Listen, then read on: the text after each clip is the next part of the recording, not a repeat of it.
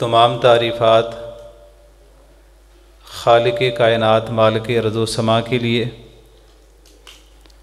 लातादाद और बेशुमार दरुद सलाम हज़रत महमदुलरसूलुल्लाह सल्लल्लाहु अलैहि वआलिहि वसल्लम की ज़ात अकदस पर।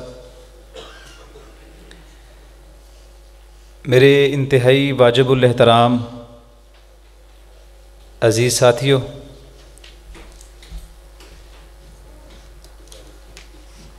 नसीहत के तौर पे और अपनी ज़ाती तरबियत के लिए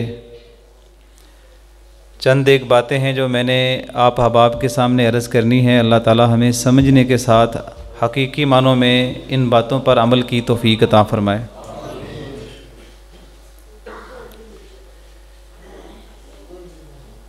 सहाबा कराम रिजवानुल्ला अजमाइन और खसूस अहल बैत रसूल वआलिहि वसल्लम, उनके हवाले से चंद एक बातें मैं आपके सामने इंतहाई सादा और आम फाम लबो लहजे में बयान करना चाहता हूँ। लेकिन सबसे पहले हमें इन चीज़ों के मकसद को समझ लेना चाहिए कि ये बयान करने का बुनियादी मकसद क्या है।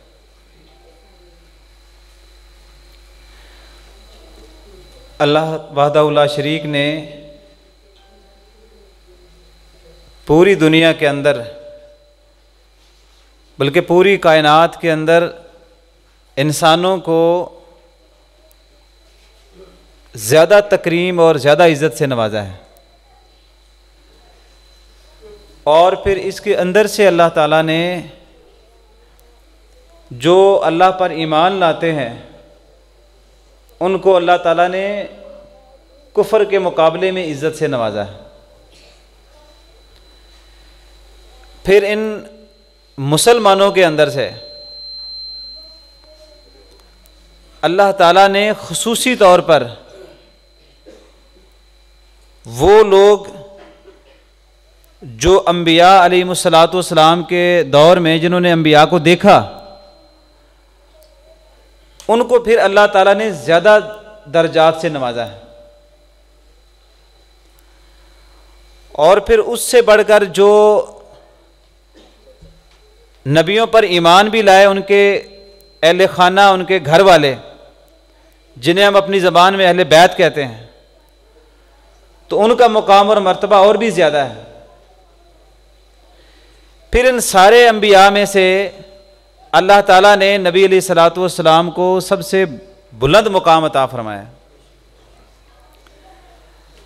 और फिर अल्लाह ने खसूसी करम ये कर दिया कि ये जो उम्मत है, उम्मत मोहम्मद सल्लल्लाहु अलैहि वसल्लम, इसको भी बाकी उम्मतों पर फजीलत भी दी, इज़्ज़त और मुकाम और एहतराम के लिहाज से भी अल्लाह ताला ने बहुत दर्जा दिया। और फिर सुहाबा कराम रिजवान अजमाई जिन्होंने नबी अली सलाम को देखा, उनके बारे में अगर ये हदीस जो कि आप पहले सुनते भी रहते हैं, मैं उसको सिर्फ़ दोहरा रहा हूँ कि जिसने ईमान की हालत में नबी सलाम फरमाते हैं, मुझे ईमान की हालत में उसने एक बार अगर मुलाकात कर ली और मुझे देख लिया मुलाकात का लफज इसलिए बोल रहा हूँ कि बाज ऐसे भी लोग होंगे जिनकी आँखें नहीं है, वो नबीने हैं। और देखने की बात इसलिए कर रहा हूँ कि जिनको अल्लाह ने आँखें दी, उन्होंने नबी सलाम की ज्यारत भी कर ली। फरमाया, जिसने एक भी मुलाकात ईमान की हालत में कर ली और ईमान की हालत में एक मरतबा मेरी ज्यारत कर ली, अल्लाह ताला ने हमेशा के लिए उस पर जहन्नम की आग को हराम करार दिया। अच्छा यहाँ तक भी बड़ी फजीलत है, लेकिन नबी सलाम ने इसको मजीद वाज कर दिया। आपने फरमाया, जिसने उस आदमी को देखा, जिसने मुझे देखा या मेरे साथ मुलाकात की, और वो ईमान की हालत में उसको देखा और ईमान की हालत में उससे मुलाकात की, अल्लाह ताला उसके भी सारे गुनाह माफ़ फरमा दे। ये इतनी अहम तरीन हदीस है कि जितने सुहाबा कराम रिजवान अजमाइन है, अगर उनकी बाकी जो फ़जाइल हैं और बाकी जो मनाकब हैं, अगर हम उनको बयान ना भी करें और इस एक हदीस के ऊपर रखें कि उन्होंने नबी सलाम का कलमा पढ़ने के बाद और इस्लाम कबूल करने के बाद नबी सलाम से एक से ज़्यादा मुलाकातें की और एक से ज़्यादा मरतबा नबी सलाम की ज्यारत की यही उनके जन्नत के अंदर जाने के लिए काफ़ी। और फिर नबी सलाम फरमाते हैं कि मेरा ज़माना सबसे बेहतरीन ज़माना है। मैं इस पे पूरी तकरीर किसी जगह पे कर चुका हूँ कि आप सिर्फ़ ये सोच लें कि आपने ये कहा कि मेरा ज़माना सबसे बेहतरीन ज़माना है, ये किस लिहाज से कहा होगा? हमारे दौर के अंदर हम समझते हैं कि हमारे पास अगर सड़कें बहुत अच्छी होना तो हम समझते हैं कि हमारा निज़ाम बहुत अच्छा है। हम समझते हैं कि हमारे पास अगर जदीद वसाइल मौजूद होंगे तो हमारा ज़माना बहुत अच्छा है। जो आज आपके इस दौर में जितनी सहूलतें आपको इस दौर में मुयसर हैं, आप अंदाज़ा करें कि इन सहूलतों में से मेरे इलम के मुताबिक एक भी सहूलत ऐसी नहीं थी जो सुहाबा कराम के दौर में उनको मैसर थी। लेकिन आप सलाम फरमाते हैं कि मेरा ज़माना सबसे बेहतरीन ज़माना है। एक ऐसे ज़माने की बात कर रहा हूँ जहाँ पे इमाम उलंबिया मोहम्मद रसूलुल्लाह वसल्लम जिस मस्जिद में नमाज़ पढ़ाते हैं, फजर की नमाज़ के बाद आपने अपना चेहरा अनवर जब सुहाबा कराम रिजवान अजमैन की तरफ़ किया तो वो हैरान हो गए कि रात की बारिश की वजह से और रात छत के टपकने की वजह से जो मुसल्ले का, सजदे का जो मुकाम था, वहाँ पे जो पानी जमा हुआ, उस पानी के अंदर नबी सलाम ने जब फजर की नमाज़ में सजदा किया, वो मट्टी आपके यहाँ माथे और यहाँ नाक पे लगी हुई थी लेकिन आप ये फरमा रहे थे कि मेरा ज़माना सबसे बेहतरीन ज़माना है। जिस दिन सुहाबा कराम में ऐसे लोग भी मौजूद थे कि अगर उनके घर में कोई अगर मेहमान चला जाए तो वो घर में मेहमान की मौजूदगी पाकर अपने बच्चों को भूखा सुला रहे थे और उसकी बीवी भूखी ही सो रही थी और वो घर का मालिक भी भूखा ही सो रहा था और वो एक मेहमान का पेट भरने के लिए चंद टुकड़े, चंद टूटी हुई रोटियाँ, वो उसके सामने रख के अल्लाह की बारगाह में शिकवा भी नहीं कर रहे थे। और हजूर फरमा रहे थे कि मेरा जमाना सबसे बेहतरीन जमाना है। और आप सलाम ने जब ये कह दिया, आप थोड़ा सा ये भी सोचें, कच्ची मस्जिद और सुतून भी लकड़ी के और छत भी इंतहाई करीब और गर्मी के मौसम में जब पसीना आता तो उस मस्जिद के अंदर लोगों का इस तरीके से जमा होना मुश्किल था। आपको ये कहना पड़ा कि आप जुमे की नमाज़ के लिए कम अज कम एक सूट इलादा से सिलाई करवा लें, जो जुमे वाले दिन आप लोग पहन के आएँगे, ताकि मस्जिद के निज़ाम को बेहतर किया जा सके। लेकिन आप फरमा रहे थे, मेरा ज़माना सबसे बेहतरीन ज़माना है। ये उस ज़माने की बात है, जब नबी सलाम के साथ जिहाद करने वालों के पास खाने के लिए कुछ नहीं था, और खजूरें ख़त्म होने के बाद वो खजूर की गुठली को मुँह में रख के चबाते रहे। ये उस दौर की बात है, जब सुहाबा कराम के पास जूते नहीं थे और गजवा जातुर्रिका में वो कहते टाकियाँ बाँध कर पाँव पर हम सफ़र करते रहे, हमारे पाँव के जो नाखून थे वो उतर गए और चलते चलते हमारे पाँव पे जो जख्म हुए थे, उसके ऊपर पर हमने पट्टियाँ बाँध ली थी तो पाँव जख्मी लेके चलते रहे। उस दौर की बात है, जब एक एक सवारी पर दो दो, तीन तीन, चार चार लोग बारी बारी सवार होते थे। लेकिन आप फरमाते हैं, मेरा जमाना सबसे बेहतरीन जमाना है। सिर्फ़ थोड़ी सी तवज्जो करने की बात है। आखिर क्या उस जमाने में बात ऐसी थी कि जिसकी वजह से आपने फरमाया, मेरा जमाना सबसे बेहतरीन जमाना है? जबकि आज के जदीद दौर के अंदर आज तुम्हारे पास स्कूल भी हैं, कॉलेजेस भी हैं, यूनिवर्सिटियाँ भी हैं, मदरसे भी हैं, मसाजिद भी हैं, उलमा भी हैं, कसीर तादाद में मुसलमान भी हैं, तुम्हारे पास इस वक्त फौज भी है, एटम बम भी है, लेकिन कोई बंदा मुझे खड़ा होकर यह बता दे कि हमारा जमाना सबसे बेहतरीन जमाना है। तो उस जमाने की बेहतरी के बारे में अगर आप जानना चाहते हैं शायद और भी इसबाब उस जमाने की बेहतरी के बहुत सारे होंगे, मैं उनका इनकारी नहीं हूँ, लेकिन उन सारे इसबाब में से एक बात बड़ी वाजे थी कि उस दौर के मुसलमान मतलब सुहाबा कराम रिजवान अजमैन जब उन्होंने कलमा पढ़ा तो उन्होंने दिल से कलमा पढ़ा। जब उनको पता चला नमाज़ वाजिब है, फिर सवाल ही नहीं पैदा होता कि वो नमाज़ कभी उनकी रह चुकी हो। जब उनको पता चला रमज़ान के रोज़े वाजिब हैं, ये तस्वुर ही खत्म हो गया कि रमज़ान का महीना होगा और हम रोजा नहीं रखेंगे। जब उनको पता चला जक़ात हम पर वाजिब है तो ये हो नहीं सकता कि वो वाजिब जक़ात को कभी अदा ना करें। जब उनको पता चला जिहाद हम पर वाजिब है, ये हो नहीं सकता कि वो घर में बैठे रहें। जब उनको पता चला कि सदका देना बड़ा सवाब का काम है तो पूरा पूरा घर ला के लोगों ने कदमों में रख दिया।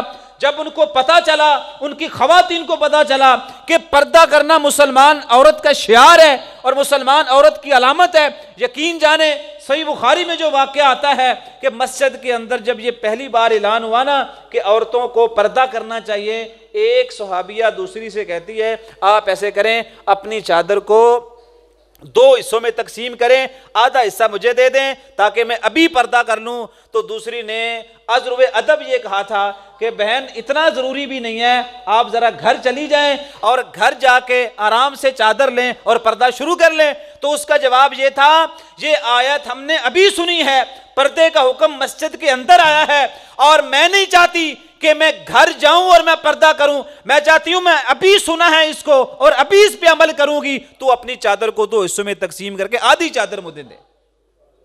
जमाने बेहतर तब होते हैं जब लोगों के रवैये अच्छे हों। जमाने बेहतर तब होते हैं जब कौम के अंदर झूठे लोग मौजूद ना हों। रवैये भी मुस्बत हों और सच इतना ज़बरदस्त तरीके से बोलते हूँ कि वो अल्लाह के रसूल के सामने बैठे थे। काब बिन मालिक सामने बैठे और कहते, मेरे दिल में ये बात आई कि गजब तबूक में मैं जा नहीं सका।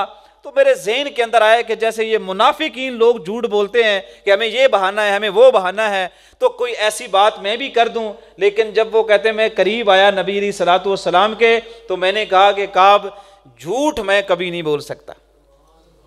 मैं झूठ कभी नहीं बोल सकता। और फिर नबी सलाम से पूरी सच्ची बात कर दी। और पूरी सच्ची बात करने के बाद कहते हैं कि कोई उजर, कोई बहाना सिवाय इन चंद बातों के कि मेरे ये ये मामला थे कि मैं आज निकलता हूँ, मैं कल निकलता हूँ, मैं परसों निकल जाता हूँ। ये करते करते दो, तीन दिन में ताखीर का शिकार हुआ और फिर मैं रह गया। नबी सलाम ने फौरी फरमाया कि तेरा फैसला अल्लाह पर है। और सही बुखारी पढ़ के देखे, काब बिन मालिक जब मस्जिद से बाहर निकले ना तो उनके बिरादरी के लोग कुछ मिले, उनसे उन्होंने कहा कि क्या फैसला हुआ है तुम्हारा? तो कहने लगे, जी, मेरा फैसला नबी सलाम ने कह दिया है कि वो अल्लाह के सपुर्द है। तो कहते हैं, अब भी वापस जाके माफ़ी मांगो, मामलात को देखो, अल्लाह जो फैसला करेगा, देख लेना, तेरे लिए बहुत मुश्किल भी हो सकती हैं। कहते हैं, कुछ भी हो, लेकिन मैं नबी सलाम की ज़ात के सामने झूठ नहीं बोल सकता। और फिर अल्लाह ने जब फैसला किया तो फिर आप उस फैसले के अंदर बातें देखें स्वाभाई कराम की। फैसला ये हुआ कि इनके साथ बशमूल नबी सलाम और बाकी सुहाबा कराम हम कलाम नहीं होंगे। जब यह फैसला आया पूरी मस्जिद में अखुवत और भाईचारे की मिसालें सुहाबा कराम की कौन देता है? हम देते हैं कि मदीने की रियासत में सबसे बड़ा भाईचारा हुआ।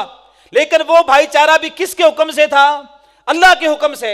और जब अल्लाह ताला ने यह हुक्म दिया कि आपने काब बिन मालिक से कोई बात नहीं करनी तो तमाम सुहाबा कराम ने अपनी जबान को खामोश कर लिया और कोई भी काब बिन मालिक से बात करने के लिए तैयार नहीं था। जहाँ जिस जमाने में अल्लाह उसके रसूल की इतात इस दर्जे पर हो, उस जमाने को जमाना खैर का कहते हैं। और इतना नहीं, एक दिन काब बिन मालिक कहते हैं, मैं जरा घबरा भी गया और परेशान भी हो गया कि कोई मेरे साथ हम कलाम नहीं होता। मैं ज़रा मुख्तसर कर रहा हूँ। कहते हैं, मेरे चाचा का बेटा, शायद अबू कतादा रज़ी अल्लाह ताला में उस, उनके बाग के अंदर चला गया। और जब मैं उनके बाग के अंदर गया तो मैंने उनसे कहा, अस्सलाम वालेकुम वरहमतुल्लाहि तो उन्होंने खामोशी इख्तियार कर ली। मैंने बार बार इसरार किया कि मेरे साथ तुम बात तो करो। आज के दौर में तुम मेरे कज़न हो, चाचा के बेटे हो, मेरे साथ बात तो करो। अगर तुम भी बात नहीं करोगे, कोई इंसान मेरे साथ बात नहीं कर रहा। फिर कहते मैंने एक ऐसा जुमला बोला। मैंने कहा, देखो मैं अल्लाह उसके रसूल से मोहब्बत करने वाला बंदा हूँ, ऐसी बात नहीं, मेरे साथ कलाम कर। आगे से पता जवाब क्या मिला? सिर्फ़ ये जवाब मिला, अल्लाह उसके रसूल बेहतर जानते हैं कि तू मोहब्बत करता है कि नहीं करता। कहते ये बात सुनकर मैं जब दीवार फलांग के फिर बाहर निकला तो मैं अजीब कैफियत हालत में था। और फिर चंद दिन गुजरे तो घर गए तो घर के दरवाजे पे ना दस्तक हुई।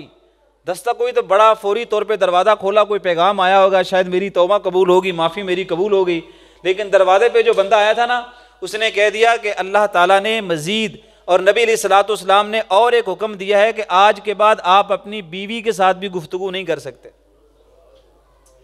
अच्छा यहाँ पे मैंने आपको बताना है, भाई घर की चार दीवारी से बाहर तो समझ आती है कि बाहर लोग देखते हैं, बात करेंगे तो नज़र आएँगे। लेकिन जब ये हुक्म नाजिल हुआ कि आप अपनी बीवियों के साथ भी बात नहीं कर सकते।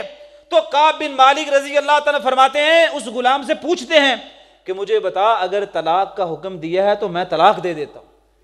का तलाक का हुक्म नहीं दिया, इलेदा रहने का हुक्म दिया है, बात नहीं कर सकते।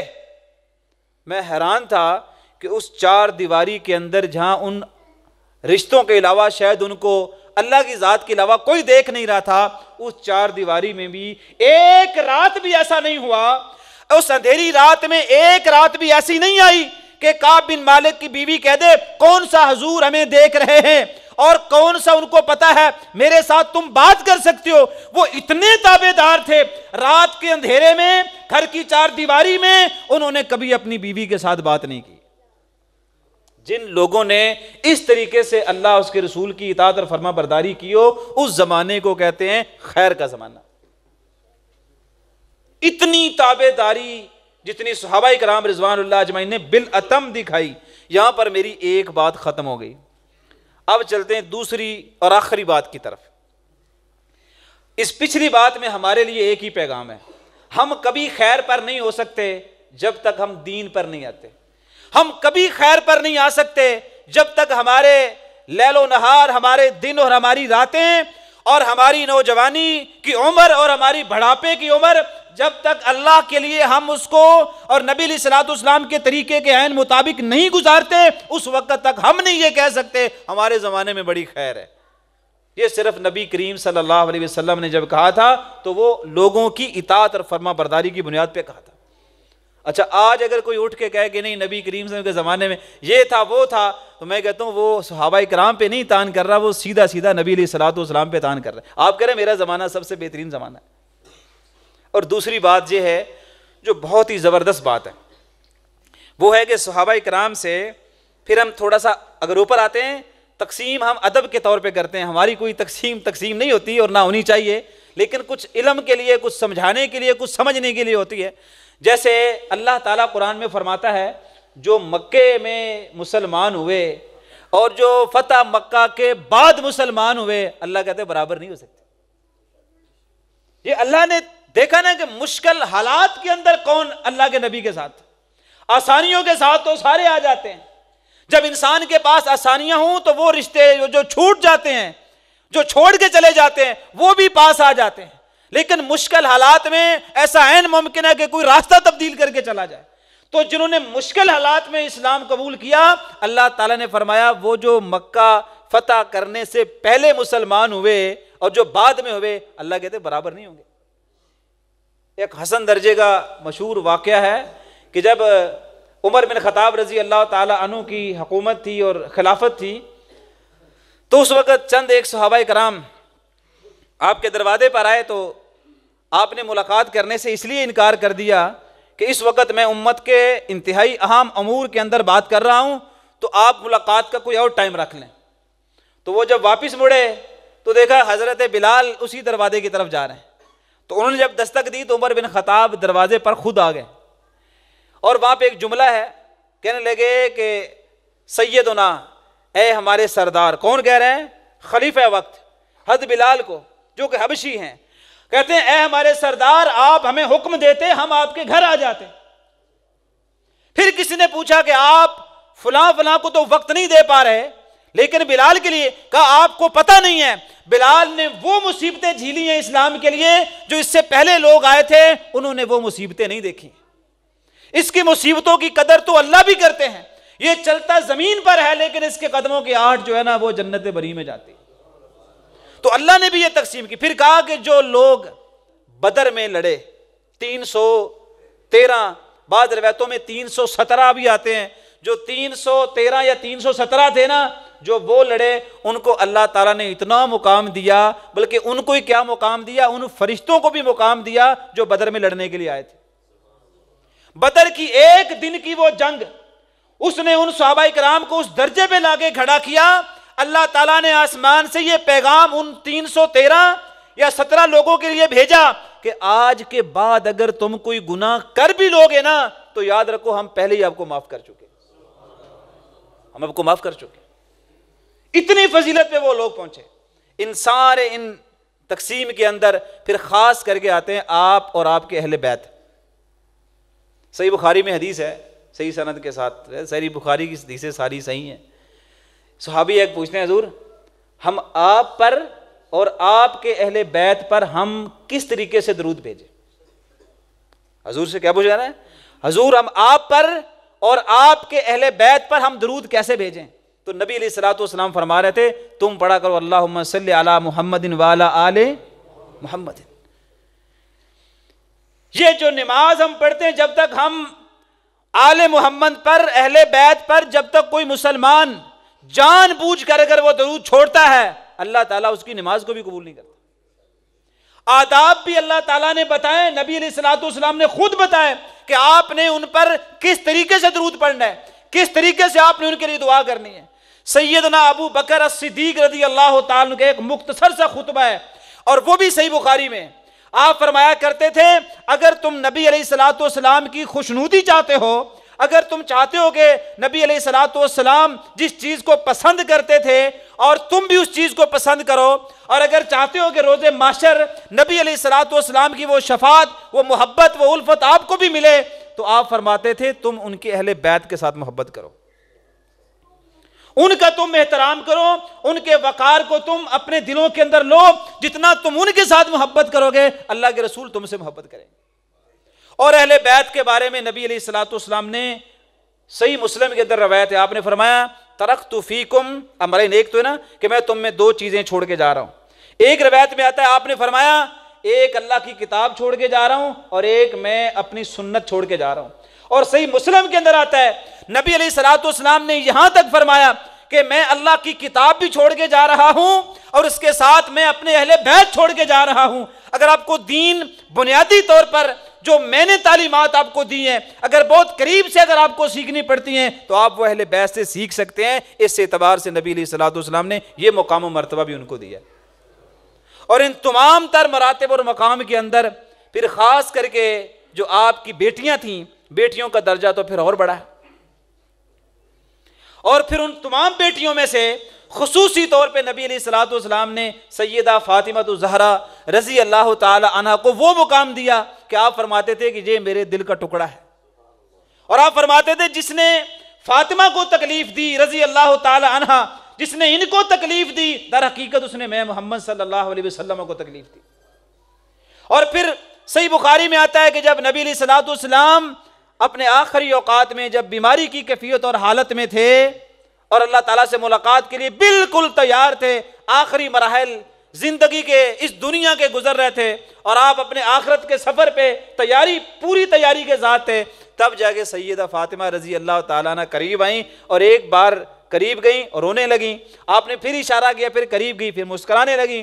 तो माँ आयशा रज़ी अल्लाह तहा ने फौरी तौर पर सैदा फातिमा रज़ी अल्लाह तहा को, अनहा को बुलाया और बिठा के पूछा कि बेटा, अल्लाह का वास्ता देती हूँ। मुझे बताओ, नबी सलाम ने एक बार बात की और आप मुस्कराई और एक बार बात की और आप रोई, इसकी क्या वजह है?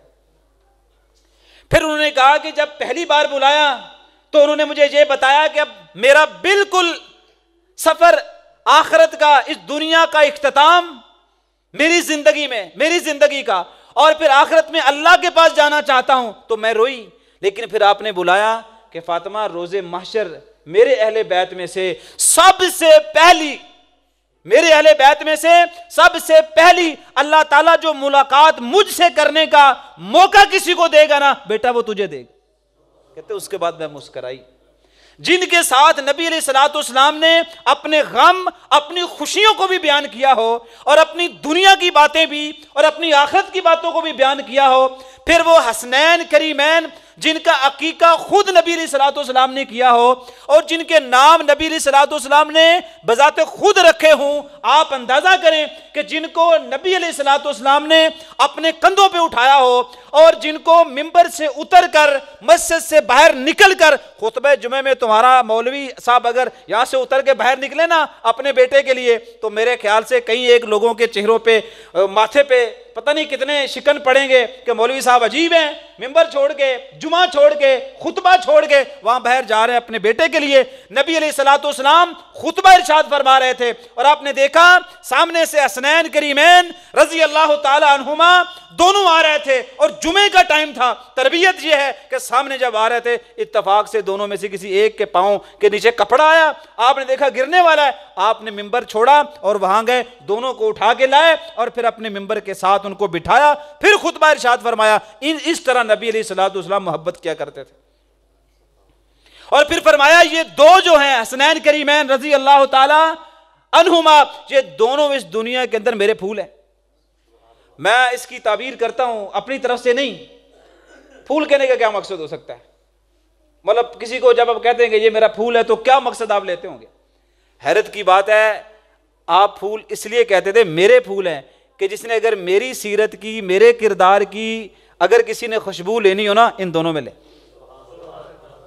ये इस एतवार से मेरे फूल हैं। और बिल्कुल इस दूसरी बात का आखिरी हिस्सा इस पर मेरी बात ख़त्म होने वाली है। मैं आपको बताऊँ, एक हदीस बयान करके बात ख़त्म कर रहा हूँ कि आप सलाम ने हसनैन करीमैन रज़ी अल्लाह तुमा से किसी एक का बोसा लिया आपने। ये बात ज़रा थोड़ी मुश्किल है, लेकिन मैं आसान करके समझाना चाहता हूँ। ये रवायत आपने सुनी, लेकिन आज मुझसे भी सुन लें। दोनों में से किसी एक का बोसा लिया तो एक अरब का बहुत बड़ा सरदार जो है ना, वो वहाँ बैठा हुआ था। वो कोई नया नया मुसलमान हुआ। अभी उसको इन चीज़ों का पता नहीं था तो उसने एक अजीब किस्म का सवाल किया। उसने कहा, हजूर, ये तुसी छोटे बच्चों के बोसे भी लेंदे हो? मतलब तुसी इन्हों का बोसा भी लै लेंदे हो? आपने कहा, क्यों? कोई अजीब हुआ है? उसने कहा, अजीब तो ये हुआ है कि मेरे दस बेटे हैं। मेरे कितने मेरे दस बेटे हैं। मैंने आज तक किसी एक का भी बोसा नहीं लिया। और मैं आपको देख रहा हूँ कि ये बच्चे आए हैं और आपने इनको गोद में बिठाया और इनका बोसा लिया। ये जवाब सुन लें और इसकी थोड़ी वजाहत सुन लें। आपने फरमाया, अगर तेरे दिल से अल्लाह ताला ने रहमत निकाल दी हो तो मैं क्या करूँ? बात इतनी नहीं है, बात इससे आगे है। बात इससे आगे है। जिस दिल के अंदर ये किसका दिल है? नबी सलाम किसी आम इंसान का नहीं है? किसका है? ये मैं काश में अल्फाज में समझा सकूँ, ये दिल किसका है? उससे कहा कि तेरे दिल में रहमत अगर किसी ने निकाल दी हो, अल्लाह ने निकाल दी हो, मैं क्या करूँ? और उसके मुकाबले में किसका दिल है? नबी अली सलाम का दिल। ये वो दिल है जिसके अंदर पूरे का पूरा कुरान अल्लाह ने उतारा है। ये वो दिल है जो दुनिया का सबसे कीमती तरीन दिल है। ये वो दिल है जिस दिल के अंदर से बातें होती हुई, जबान पर आई और सुन्नत बनी और आज किताबें भरी पड़ी हैं हजूर के फरामीन से। और ये वो दिल है जिस दिल के अंदर अल्लाह की मोहब्बत भी मौजूद है, अल्लाह की किताब की और ईमान भी है और तकवा भी है। ये नबी सलाम का वो दिल है। आपकी आँखें सो जाती थी फिर आपका दिल नहीं सोता था। आपका दिल जागता रहता था। इतने अजीम दिल के अंदर भी हसनैन करीमैन की मोहब्बत मौजूद थी। आपने इसीलिए फरमाया कि इनकी रहमत, इनके लिए वो खास मोहब्बत मेरे दिल में है। अगर तेरे दिल से तेरे बेटों की मोहब्बत निकल गई है तो मैं क्या कर सकता? तो नबी सलाम जिससे मोहब्बत करें, अगर आज का मुसलमान उससे मोहब्बत ना करे तो उससे बड़ा बदकिस्मत कौन हो सकता? है हम तो कहते हैं कि और खुद नबी सलाम ने दुआ दी। आपने फरमाया अल्लाह, तू उससे मोहब्बत कर, जिससे मैं मोहब्बत करता हूँ। तू उससे मोहब्बत कर, जिससे मैं मोहब्बत करता हूँ। एक रवायत में फरमाया कि अल्लाह, ये मेरे नवासे हसनैन करीमैन रज़ी अल्लाह तहुमा या जो इन दोनों से मोहब्बत करता है, या अल्लाह, तू भी उससे मोहब्बत कर। फिर फरमाया मैं भी इनसे मोहब्बत करता हूँ। तो अल्लाह ताला से दुआ है कि अल्लाह ताला हमें सुहाबा कराम रिजवान अजमाइन और फिर वो जो सहाबा कराम बदर में अहद में और बहुत सारी जंगों में लड़े, जिन्होंने कुर्बानियाँ दी और फिर खसूस अहल बैत रसूल अलैहि वसल्लम और फिर इससे भी ख़ास करके आपकी बेटी सैदा फ़ातिमा रज़ी अल्लाह तहा और आपके नवासे हसनैन करीमैन रज़ी अल्लाह तहुमा से वो हम मोहब्बत करें। अल्लाह से दुआ करते हैं कि या अल्लाह हम तेरे नेक बंदों से मोहब्बत करते हैं। तू भी हमसे मोहब्बत कर, हमारी मोहब्बत को अपनी बारगाह में कबूल फरमा। वसलम वरहमल वर्का